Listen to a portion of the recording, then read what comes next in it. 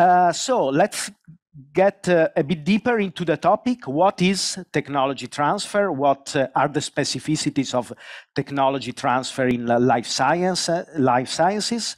What opportunities and challenges are there? And what are the tools that, uh, uh, let's say, what is the toolbox that is needed for successful technology transfer? Uh, to talk a little bit about this, I want to invite to the, to the podium Riccardo Pietrabissa, who is the rector and professor of industrial bioengineering at uh, um, the School for Advanced Studies or IUSS in Pavia.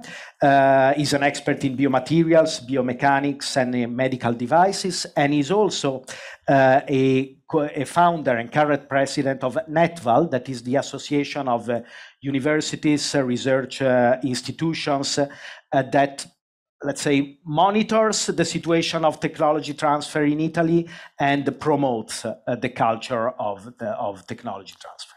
So welcome, Riccardo Pietrabissa, and we're eager to thank hear you. Your thank you very much, uh, uh, Nicola. And uh, I'm very proud and happy to be here today for giving this first, uh, really first talk uh, on the first meeting on technology transfer here in Human Technopole. also as rector of one of organizer of this meeting indeed. Um, I began to to think about uh, what technology transfer is uh, and uh, why we should promote activi activities in technology transfer. Uh, let me say more than 20 years ago, it was uh, uh, 2001 when the director in Politecnico di Milano, where I, I was professor at that time, asked me to establish uh, uh, a technology, uh, not a technology, a patent office, a patent office. So we have no idea how to patent research results. And I had no idea at the time. And so uh, we made a, lot of effort uh, and particularly a lot of errors in doing that. And we obtained the first success uh, some years later because it is difficult. It's difficult to convince and to talk uh, uh, with researchers about uh, technology transfer, about different uh, uh, goals, which are not publication of scientific results and so on.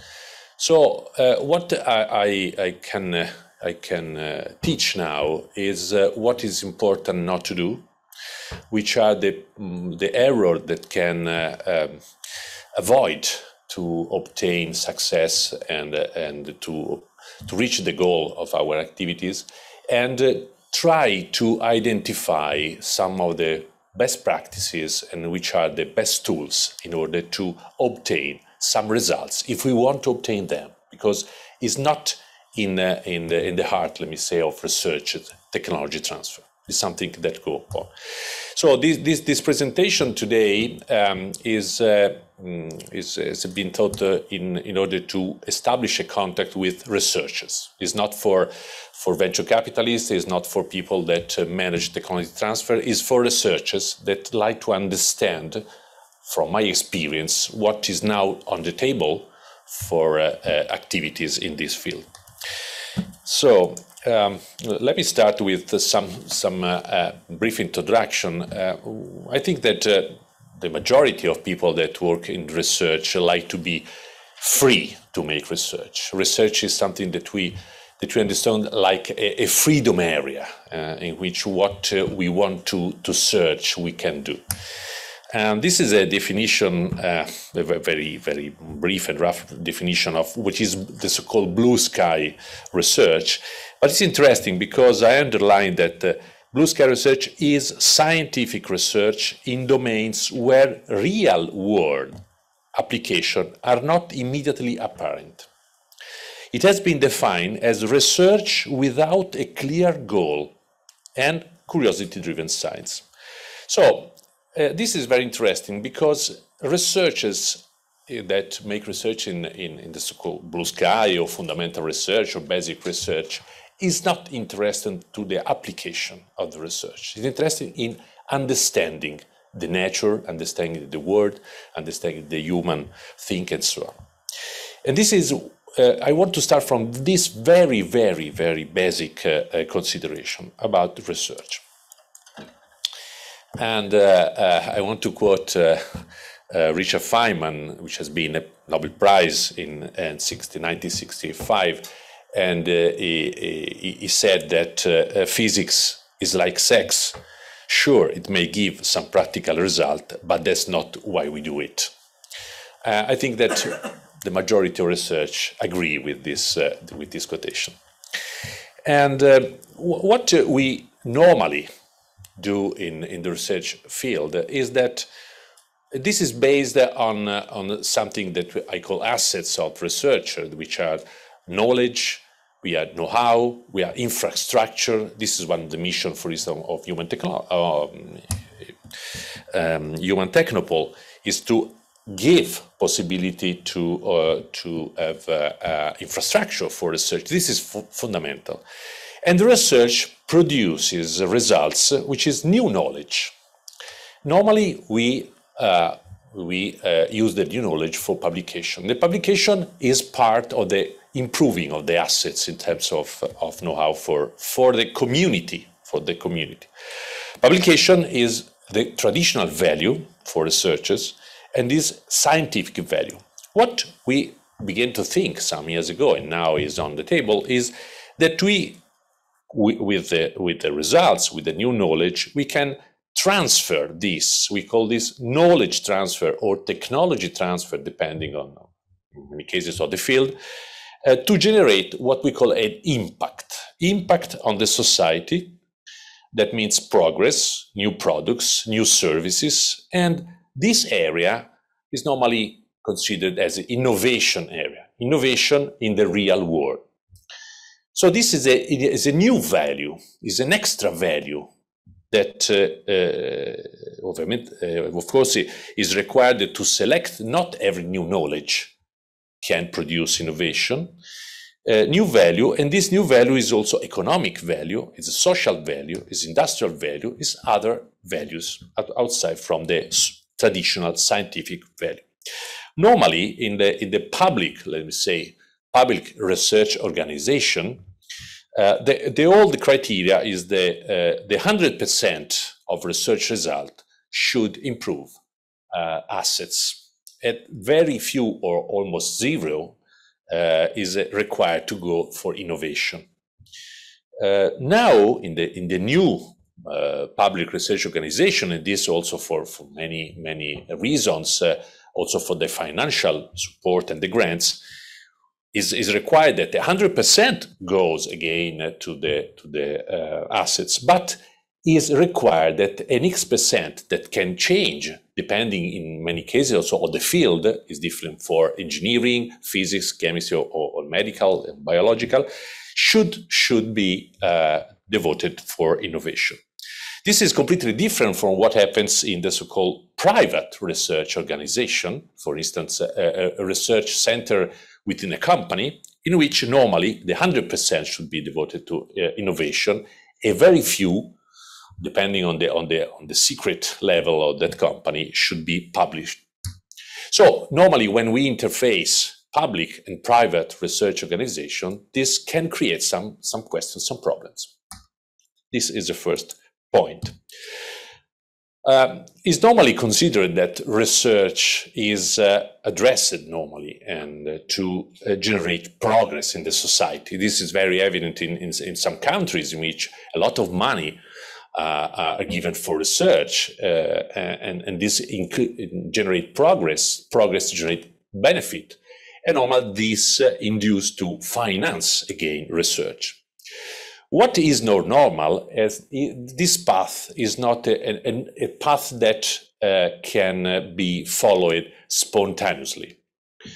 Because if the researchers publish the research results in publication is for the very uh, small com scientific community, is not for everyone.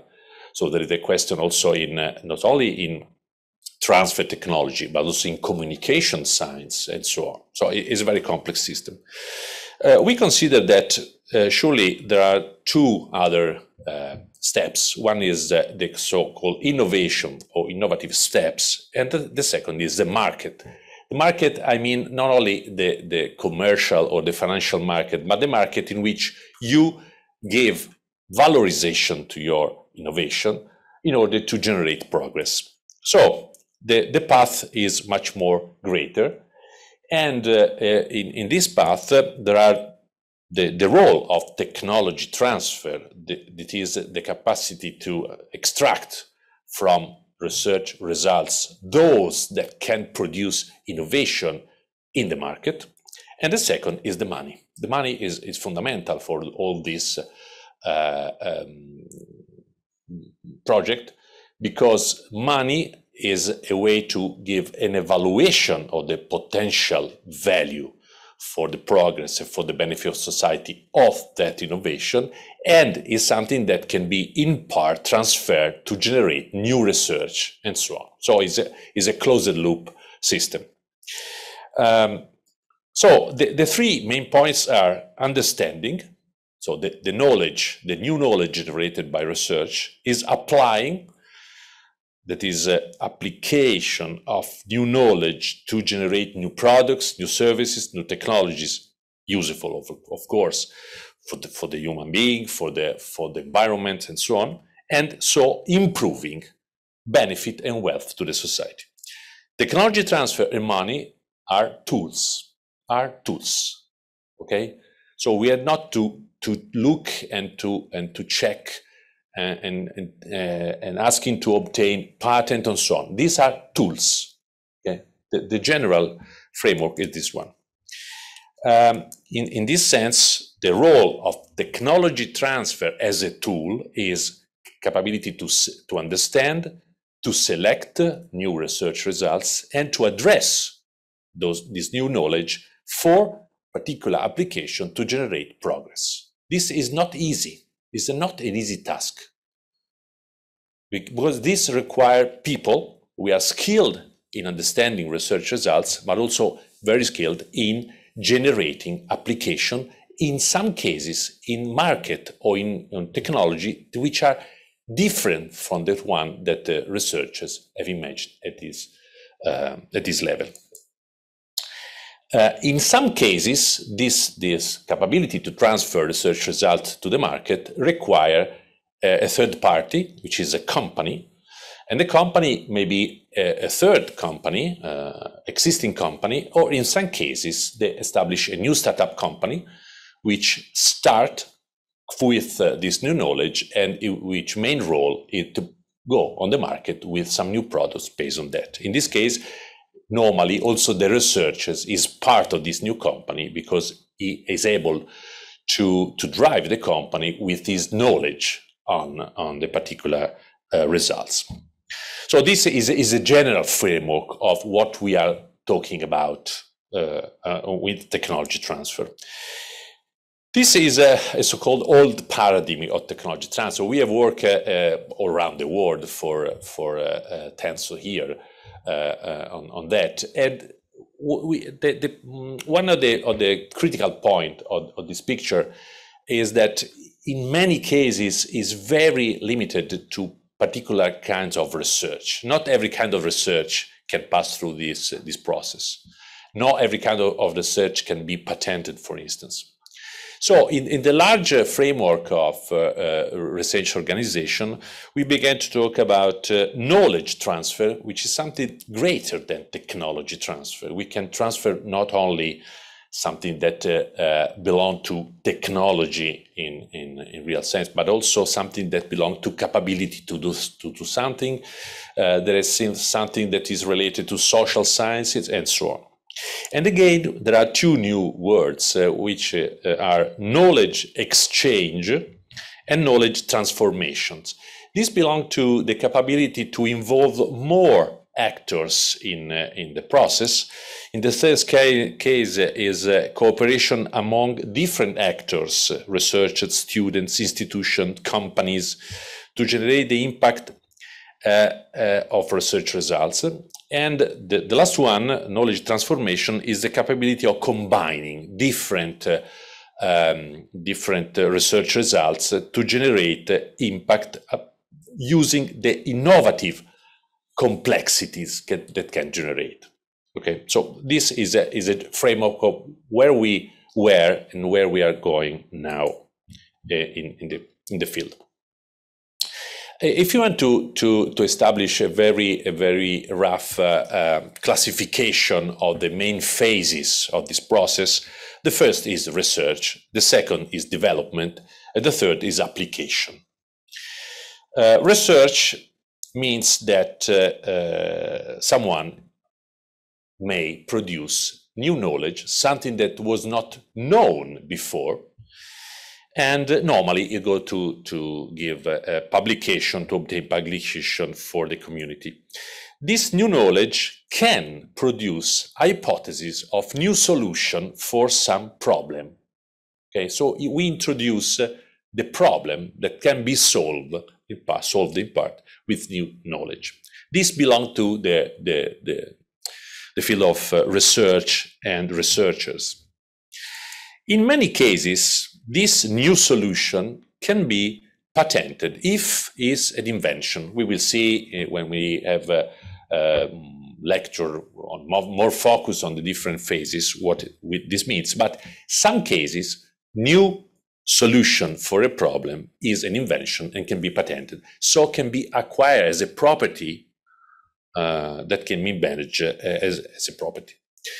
Um, if we have the, the proof of concept, uh, the, the testing of this solution, and it seems good, this is a so-called development phase. So I want to establish that this idea, this hypothesis of solution is tested, is validated, and can be useful for uh, application. So that with capital, because this is necessary to invest money uh, in technology, in products, we can go to the application in the real world. So this is a process. In, let me say, generally in different field of uh, technological research, but also in scientific research in many cases. There is a, a particular difference, in my opinion, in the, the, the, kind of research that is a great part of, uh, uh, of uh, life science research, which I call here research in medicine. Because in the case of researcher in medicine, it's very common that the researchers is an idea of the possible application at the beginning. This is different from physics, different from chemistry in many cases. In the field of medicine, the researchers has an idea of the possible application of the res results of research. Because the motivation is not only curiosity, but also the, the interest in solving a problem that is, say, it is, is able to, to observe in the, in, the, in the day life in the hospital, for instance. So what is different? In the case of research in medicine, normally the researchers is able to conduct part of this path also in the proof of concept, in the testing. This is an extraordinary advantage for the researchers in, in medicine with respect to the research in other fields which normally in other fields they stop with the, the idea of the solution, is not with the testing of the solution. Uh, now, uh, uh, the situation in, in Europe is particularly interesting. Uh, this is, uh, is a figure, you can see the date from the, the beginning of the, uh, one years ago, let me say. This is the last uh, report uh, of the European Patent Office. European Patent Office is a body that uh, uh manage the patent we are uh, filed in, in Europe. Okay, not only from European um, owner, but worldwide you can apply for having a patent in uh, uh, Europe. So these are patents from the patent office. And now you can see there are three fields, which are medical technology, pharmaceuticals and biotechnologies, which are now the larger field of uh, patent in Europe this last year. You can see that med medical technology is number one, uh, more than uh, digital communication. This can be strange, or, or, computer technology, and so on. And as a growing rate, the largest is uh, pharmaceutical, uh, the second is biotech, and the third is uh, medical technology. So this of the life sciences is a field in which the majority of investment for new invention and patent is present. And in particular, if you can see uh, how this is distributed in, uh, in, in, the, in, all the countries, you can see that uh, medical technology, that is back in the lead, Uh, now uh, the comparison is very similar um, Euro from European countries and from US.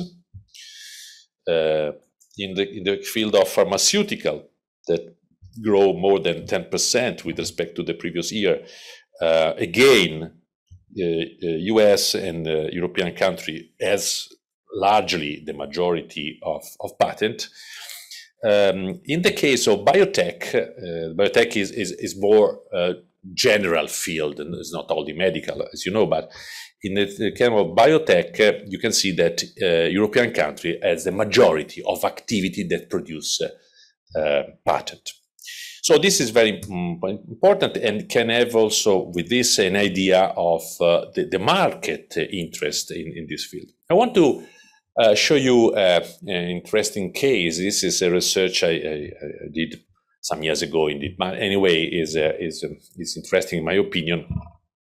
Uh, how is moving uh, the interest of the of this field of technology transfer using patent as a, as a key point? Uh, you know very well that uh, there are some pathologies that now uh, can be treated with technologies. Mm, this is a, is a classical case, very normal of osteoarthritic. in this case, I present osteoarthritic knee. Um, and uh, the, the, regular, the normal solution is the prosthesis. Prosthesis is a technological product, it's a medical device, is nothing related to biology okay, is metal, is uh, organic material, and so on. Uh, some years ago, uh, it began to, to grow the, the, the, interest of substituting cartilage, damaged cartilage, with uh, the so-called bioartificial cartilage. This is something related to tissue engineering and technology of managing cells uh, and growing cells with particular um, scaffolds and so on. Uh, the first mm, prosthesis is very common very common, everyday used in every hospital. Bioartificial cartilage is very rare, is not on the market uh, like the first one. But if you can, can see uh, as a growth, these are uh, data in, uh, in the market uh, uh, from medical devices, which include all medical devices, and tissue engineering and cell therapy, which include all of that. you can see that medical devices is very important. this is the, data from the worldwide very important. But the growth in the last uh, uh, 12 years is to be doubled. While in the in the field of uh, cell therapy, it's changed from from seven to 35, five times. So the growth is much more rapid.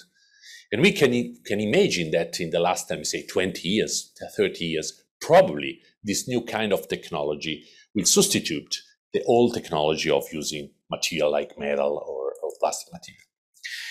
Uh, this is interesting. If you look at the, at the patent trend, or the interest in having property of solution, you can see the green lines represent the field of joint prosthesis. Patent, we have joint prosthesis in the, in the, in the title or in the abstract. And you can see that is normally uh, uh, is reach a plateau or about 100 per year. While in the field of tissue engineering, there is an extraordinary growth in number of patents applied on this field, starting more recently uh, the end of 90s. Uh, if you see uh, who are who are the first 20 uh, applicants that the, the, larger portfolio of patent in the field, this is uh, the field of joint prosthesis, and you can see that all all of the uh, first 20 patent uh, applicants in terms of number of patents are companies. They had to defend the market. So they use patent to defend the market. And see, it's interesting because the fourth is Bank of America. Why Bank of America? Because in US, you can give a patent for guarantee a, a loan, a financial loan. So they have a lot of patent as a share with company that they finance for, for the market. If you can see the, the, the network, so the relation uh, for a single patent between uh, different uh, uh bodies, you can see that in the center there is Bank of America. They finance all the, the companies that produce in the United States uh, this, this, uh, this kind of products on the base of patent. These are the first 20 applicants in the field of tissue engineering. And we are only two companies. All the others have universities and research centers. We have no market. So they are not interested to defend a product on the market. The first one is US Health, which is the NIH, the agency that give money for research and of course want to have a share in the patent. What is this? This is the capability to be involved in the next phase in which company want to develop or will develop, develop a new product based on research because they have the patent and they can, can negotiate the patent for having money for make research. So it's very fundamental, this also strategy. It's a strategy of medium long time, but it's a very important strategy. And you can see how many universities from China, for instance, in this in this field. This is very interesting. Uh, in the US, in the United States, the two the two major knots on, on the net are, as you can see before, US Health, NIH, and MIT. Okay, this is a situation you can read with this data what is happening in the strategic area for having the ownership of research results, which is free from the knowledge, but is, is fixed and is owned for the application and the solution.